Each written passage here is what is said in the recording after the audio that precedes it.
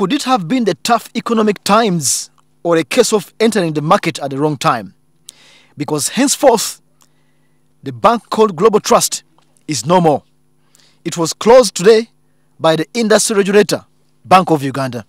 Since it was established in 2008, Global Trust Bank has incurred persistent losses which have accumulated to about 60 billion.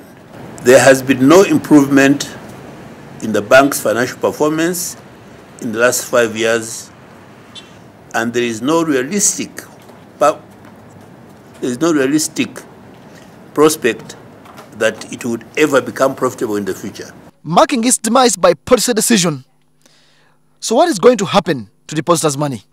The Bank of Uganda has arranged for the transfer of all its deposit accounts, which amount in value to approximately 73 billion to the DFCU Bank.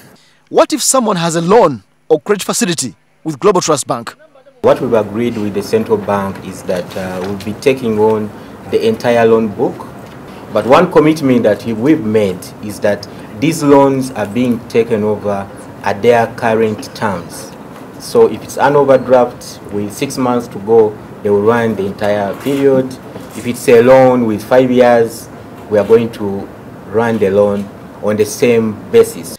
No one will stop any former depositor of Global Trust from withdrawing their money if they choose not to stay with DFCU.